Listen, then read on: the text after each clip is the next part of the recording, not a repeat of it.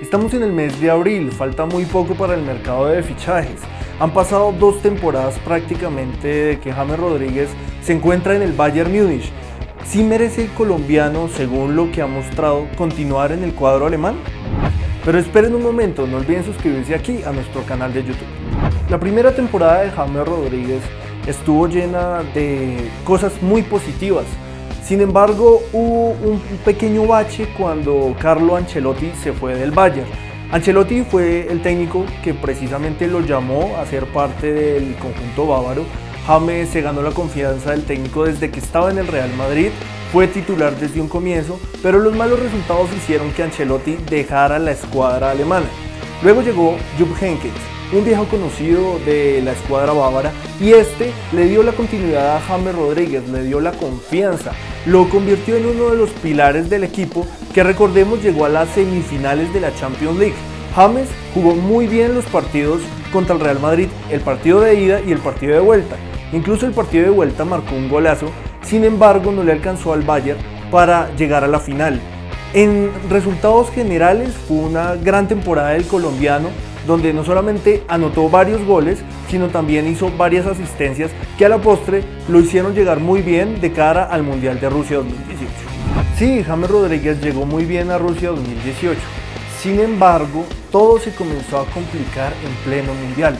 El colombiano se lesionó jugando con la selección Colombia y desde ahí, después del mundial, no pudo continuar al mismo nivel que estaba en el Bayern Múnich.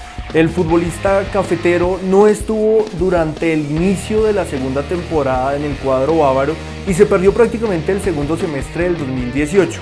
A razón de esto, el nuevo técnico del Bayern, Nico Kovac, lo comenzó a relegar poco a poco a la banca. A inicios del 2019 las cosas comenzaron a cambiar para James. El colombiano se recuperó de su tema físico.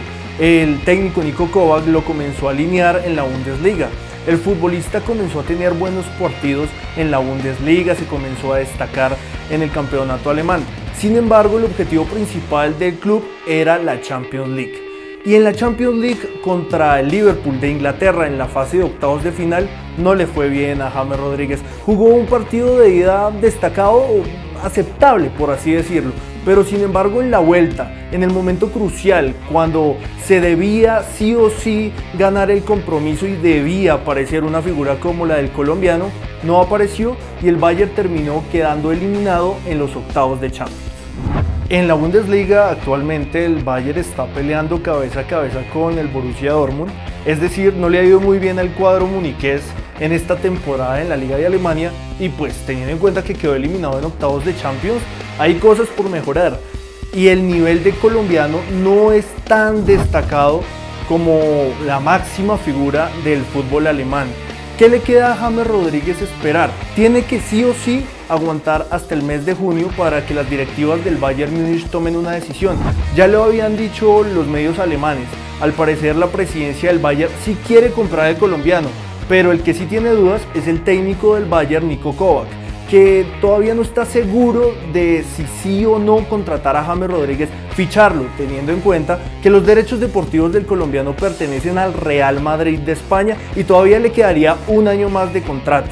Pero ustedes qué creen, James Rodríguez después de estas dos temporadas sí merece ser comprado por el Bayern Múnich? No olviden consultar toda la información deportiva en www.antenados.com.co.